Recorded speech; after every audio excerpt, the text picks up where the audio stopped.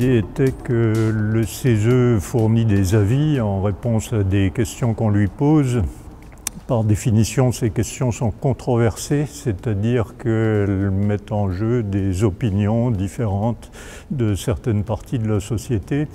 Et l'idée de départ, c'est de comprendre précisément sur quoi portent les différences de point de vue avant de chercher à élaborer des compromis, à trouver des consensus, ce qui suppose d'abord qu'on ait bien compris euh, en quoi il y a des divergences de vues, ce qui est tout à fait normal. La société est faite de divergences de point de vue.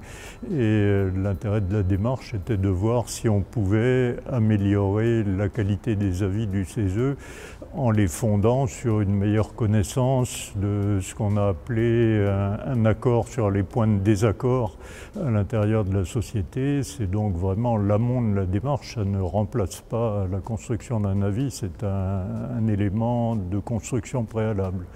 On s'est inspiré d'expériences semblables qui avaient été faites et qui avaient relativement bien marché, euh, notamment en matière de gestion de déchets nucléaires, où il y a une opération de ce genre qui avait été faite euh, l'an dernier.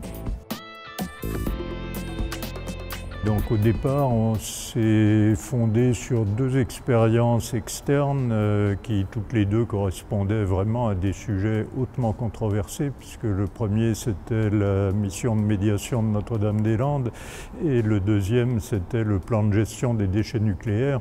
Donc ces deux exemples où il y avait des, points de vue extrêmement différents qui s'affrontaient et où euh, le but était d'arriver à trouver avec euh, les personnes en question euh, comment elles pouvaient s'écouter et se comprendre. Et, on avait constaté que c'était possible, même si ce n'est pas toujours simple, dans une démarche expérimentale très concrète.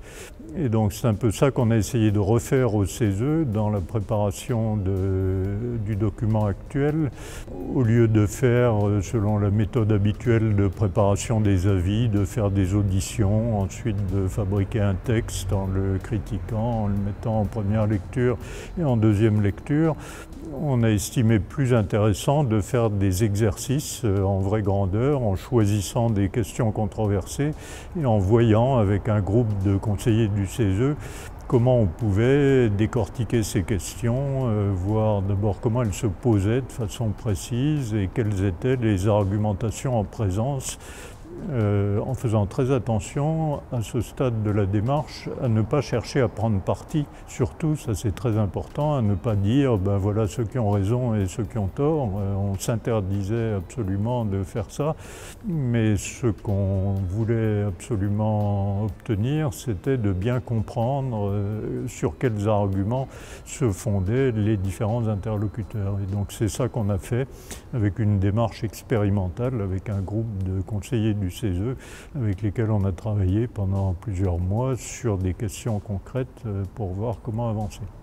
Par rapport à d'autres euh, thèmes d'études ou avis du CESE, on n'a pas choisi de répondre à une question. Hein, pendant un moment, on y avait pensé dire on va choisir euh, des thèmes liés au développement durable et on va dire comment ce que donne l'analyse là-dessus. C'est pas ce qu'on a choisi de faire. On a choisi de faire un document méthodologique utilisable à la fois par nous et puis surtout par nos successeurs, puisqu'on est en fin de mandature.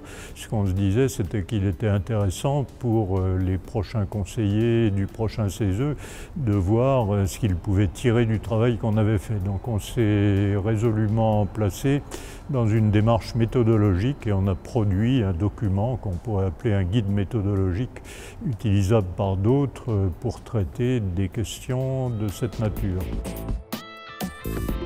Pour ce travail expérimental en vraie grandeur avec les conseillers, on a choisi un thème général dont on s'était dit à la fois qu'il était suffisamment large pour couvrir beaucoup de cas de figure euh, très différents et en même temps pas trop clivant ou conflictuel parce que ce n'était pas le but. Et donc le thème qu'on a choisi était celui des mobilités euh, à partir duquel on a défini une dizaine de questions, euh, parfois très larges, dans le style vaut-il mieux interdire, réglementer ou bien au contraire inciter pour obtenir telle ou telle évolution de comportement. Et puis on avait aussi des questions portant sur des thèmes techniques très précis. Par exemple, faut-il développer l'usage des agrocarburants, oui ou non?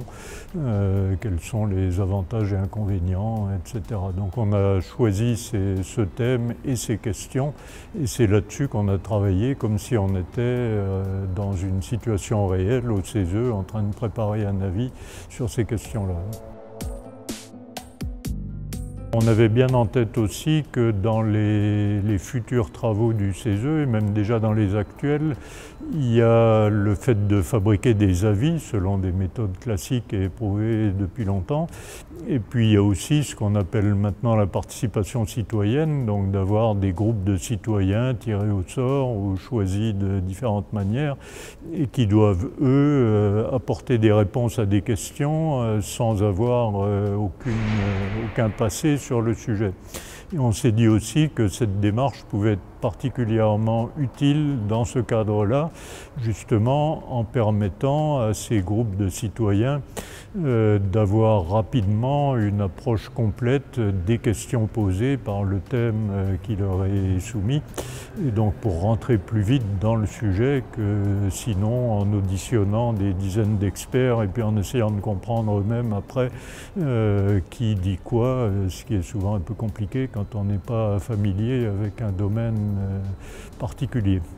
Donc il nous a semblé que cette méthode était de nature à leur faciliter le travail.